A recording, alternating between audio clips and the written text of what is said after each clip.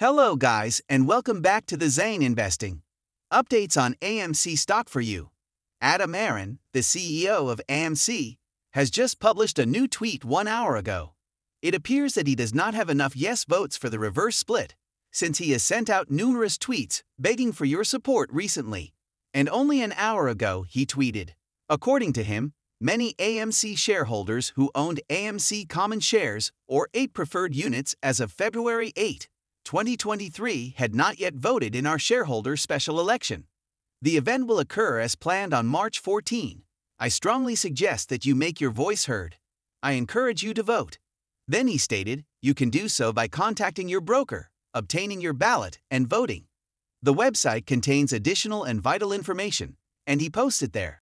Moreover, study the meeting proxy and modifications included herein by reference, which are accessible at sec.gov. Who knows what else he may be trying to introduce? It looks like they did an amendment. They endeavor to alter something else. Two alterations. It is sly. I don't like that. Nonetheless, he wouldn't be so desperate if they had a lock on the yes vote. He wouldn't be asking you to vote and saying, oh, some folks haven't voted yet. And that also helps you know what their vote total is. I am confident now that they have a vote tally. Total. They are aware who voted. They are aware of the totals for yes and no, as he would have no way of knowing. How many of you have not yet voted?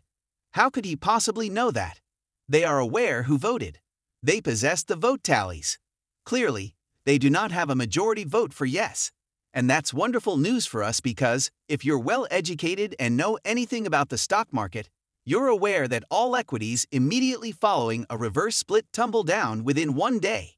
Within one day, that stock will plummet like a jet whose engines failed simultaneously. Acceptable, I'll give you one example. Visa. I will likely give you a few more. Let me quickly check my notes to see whether they are still present. Nonetheless, you can conduct your own research. You may research any stock that has undergone a reverse split, and you will find that they have all plummeted. All of them have crashed. I mean, these are merely the most recent instances of a reverse split and several of these stocks that I highlighted had executed reverse splits within the past 30 days, 60 days, or 90 days. And they all fell in a single day. And I'm not referring to 10%. I'm referring to a 50% down payment. 60% down 70, 80% down. Check them out. Please comment below if you have even one example of a stock that surged and remained elevated for more than one day, because there are none. There is no evidence whatsoever that this increased. Um, after a reverse split, they all collapse, and they continue to crash each day thereafter. Now, if we were to have a reverse split granted, the good news is that the judge in April, there's a lawsuit against AMC alleging that AIP is illegal if you haven't watched my earlier videos would rule in our favor. That will almost certainly increase if we receive a yes vote. The news is terrible for AMC shares. Worst possible news. Okay, the AMC stock price will then skyrocket if the judge in April decides that the conversion is illegal and we will not permit it. And if you believe that AIP will be transformed into AMC, that AIP will increase, etc., you can forget about it.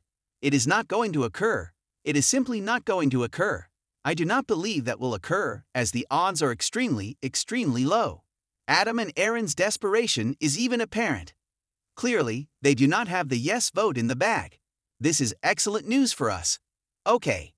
And if you naively voted yes, call your broker to see if you can modify it to a no vote, because I'm sure you've realized by now that whoever encouraged you to vote yes lied to you, and you should vote no.